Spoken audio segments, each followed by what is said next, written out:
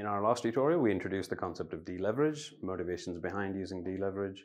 Uh, I reiterated some of the issues with using the volatility of past returns, particularly in the case of daily returns, and uh, essentially demonstrated why um, using just past returns is not sufficient, using just leverage to uh, assess the risk of a trading decision is not sufficient, as risk is also proportional to the volatility of the assets in question that are being traded. All of this motivated the need to engineer a metric that enabled us to compare the risk of a certain position to the risk assumed on a reference asset that we chose as the euro dollar. And we define that calculation for D-Leverage as very simply the volatility of the asset normalized by the volatility of the reference asset. This in turn would enable us to compare the risk of a certain position to the risk of the reference asset, thereby enabling us, enabling us to say that, say, for example, the D-Leverage of a certain position is X, then it is equivalent to taking a leveraged position of X on the leveraged uh, on the reference asset, that being the euro dollar. Let's now go into uh, the specifics of the actual calculation, starting with the reference asset to begin with. For the volatility of the euro dollar, we calculate this over a period of one year uh, for subsequent use in calculations. Now, before we go into the calculation of the uh, volatility of the asset, we need to introduce um, a new concept here, the concept of positions. At Darwinex, we measure the risk of trading positions. And a position is very simply um, a composition of assets that are open at any point in time with a certain exposure to the market. And to demonstrate what that looks like, we're going to use some examples of trade sequences and decompose them into positions to better illustrate how this works. So let's imagine we have a trader that's taken a series of, we'll keep the sim example simple, we'll have two trades in this picture, trade one and trade two at this point. And this trade one was opened at time t0. Trade two was opened at time t1. Trade one was closed at time t2. And trade two was closed at time t3. In order for us to decompose this into positions, let's, let's just take some of the specifics here. The first trade was the euro yen was 0.1 lots long. The second trade was the dollar yen and here the trader took 0.2 lots long. Right. So the first thing we need to do is decompose this into positions and define positions along the way using this chart here drawn in parallel to illustrate the effect of positions versus trade sequences. As mentioned earlier, each position is a composition of assets that are open in that moment in time. Should an asset mix change at any moment in time, the existing position is closed and a new position is formed if there are any further assets open in the next duration. To decompose the sequence of trades into positions, we would call this position 1, where only the euro yen is open. Let's call that position 1 prime. The second position let's call that 2 prime, is composed of the euro yen and the dollar yen, since the euro, uh, the dollar yen trade has only just been opened, but the euro yen trade is still open. And the third position, 3 prime, is where the euro yen has been closed and only the dollar yen is open, thereby decomposing the trade sequence of two trades into three positions. Each of these positions will follow the same timelines as the trade sequence above, and from there on, we'll illustrate and demonstrate how to calculate the risk of each of these positions, the D-Leverage.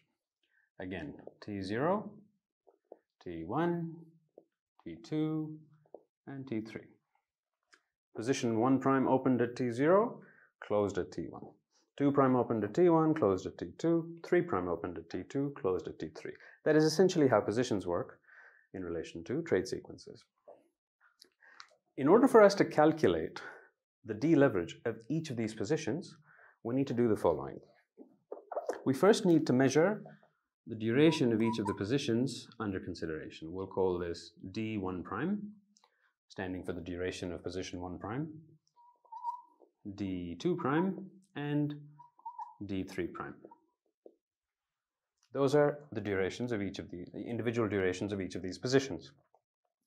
In order to calculate um, the D-Leverage of the first position, we're going to simulate historically 28 periods, 28 intervals of exactly the same duration. 28 intervals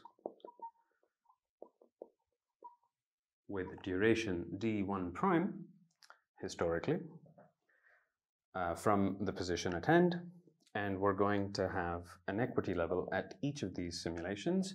So at time t0 we have equity 0, at time t1 we have equity 1, equity 2, equity 3. Let's imagine that our starting equity for this simulation is 10,000 euros. With these 28 intervals that correspond in duration to the duration of the position that we're measuring D-Leverage for, we will calculate the returns based on the asset composition of that position and simulate this over these 28 intervals. Each of these intervals corresponding to this duration will then hence give us a return for that interval. And we'll have R0, R1, all the way through to R27. And minus 1, 28 interval returns, using which we will calculate the volatility of position 1 prime. Very simple. So that will allow us to get the volatility picture, which we will then use to calculate D-Leverage for position 1 prime. Let's call this D-Leverage 1 prime equals the volatility, the sigma of position 1 prime normalized by the sigma of the euro dollar sampled for that same duration from the, the annualized volatility that we've been calculating, that we showed the calculation for earlier on in the examples. This will give us the D-Leverage of position one. We rinse and repeat going forwards in time into each of the positions that we'd like to calculate D-Leverage for. And in this case, our revised equity level will be used in order to calculate the D-Leverage of the next position and so on and so forth for every position in this sequence of positions. Here, E1, for instance, if we started off at 10,000, let's imagine that the revised uh, equity over here was 9,800. We would take 28 intervals back in time, again, this time using the duration of this new position, D2 prime, 28 intervals back in time with that duration, D2 prime, calculating returns using new revised starting equity, E1, Carrying it forward, calculating the returns of position sigma 2 prime, normalizing it with the volatility of the euro dollar sampled for that duration from the annualized volatility of the euro dollar. And that's it.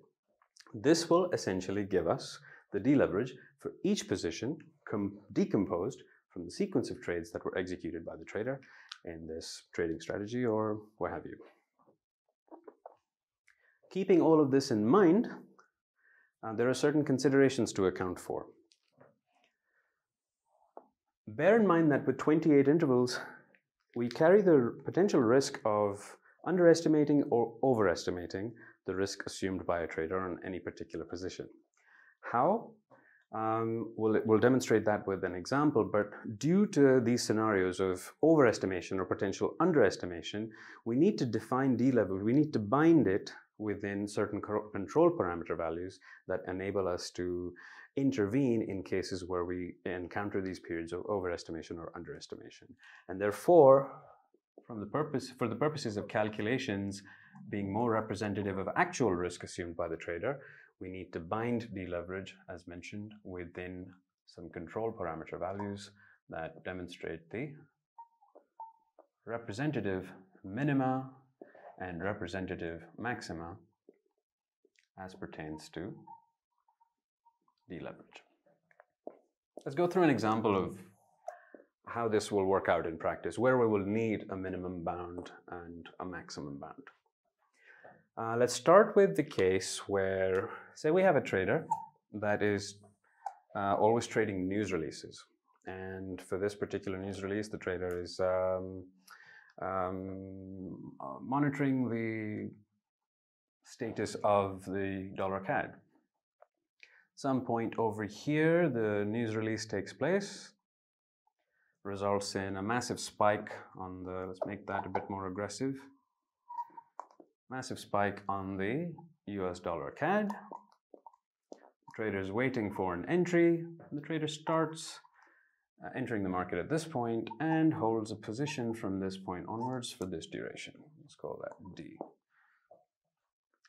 If we were to consider 28 intervals uh, historically from this position, corresponding to the duration of that position, we would then be considering these skewed returns that came about as a result of the news release. And even though the trader opened, opened the position after the event had already passed, we would inadvertently or accidentally end up penalizing the trader by saying that the trader is assuming way too much leverage on D-Leverage on this position. To account for such scenarios where the D-Leverage calculated may be too high compared to what is um, what is likely, we have an upper boundary that caps the D-Leverage to a more representative level of D-Leverage that the trader would have assumed given this scenario. And it is to control for such scenarios where um, volatility or news events or any such spikes result in a skewing of the D-Leverage calculation that may um, unintentionally penalize the trader uh, as a result of it. Same is the case for the minima. So for instance, in the case of a, when do we need a minimum control value? So say at some point in time, we have a trader that is holding on, or, or, well, not holding, but monitoring a basket of assets that the trader wishes to take a composite position on.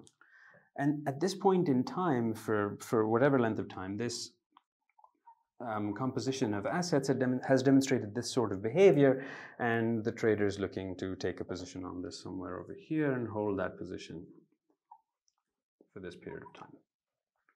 However, the flatlining sort of volatile behavior experienced here is not actually representative of this basket of assets because historically it's behaved in slightly more volatile fashion.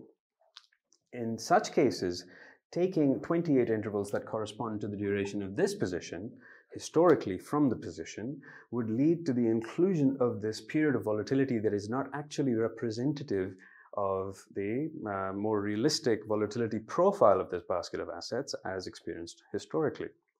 Therefore, to account for such scenarios where we may underestimate the risk assumed by a trader um, in any given position, we have a minimum control value that enables us to set a floor for calculated D-Leverage. If it is below this floor, we cap it to the floor, thereby creating this um, set of boundaries for both minima and maxima.